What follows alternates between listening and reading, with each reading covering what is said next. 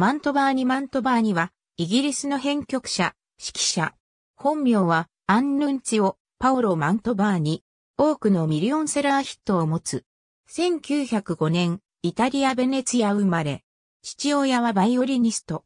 4歳の時に家族揃ってロンドンへ移住する。マントバーニのプロミュージシャンとしてのスタートは、ロンドンのメトロポールホテルの小編成のサロンオーケストラを率いてである。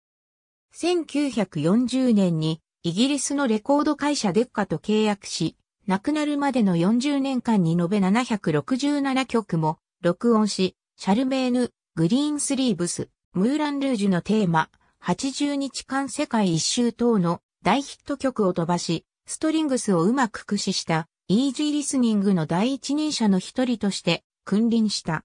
アメリカのビルボード誌にナンバーワンヒットはなかったものの、チャートインした曲は12曲ほどある。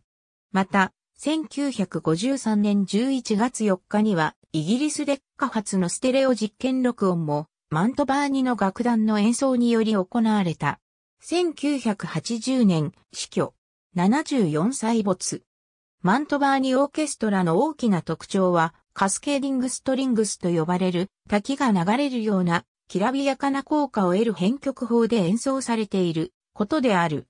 バイオリンセクションを4パート程度に分け、メロディの一部分をそれぞれのバイオリンパートが変わる変わる演奏する。つまり、この編曲法では完全な主旋律を演奏している。バイオリンパートは一つもない。